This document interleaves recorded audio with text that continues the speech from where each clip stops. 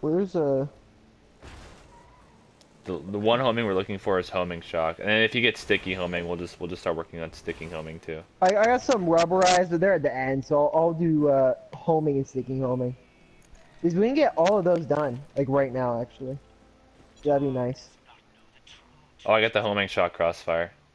Good. Knock that off. So just look for sticky homing. Mm-hmm.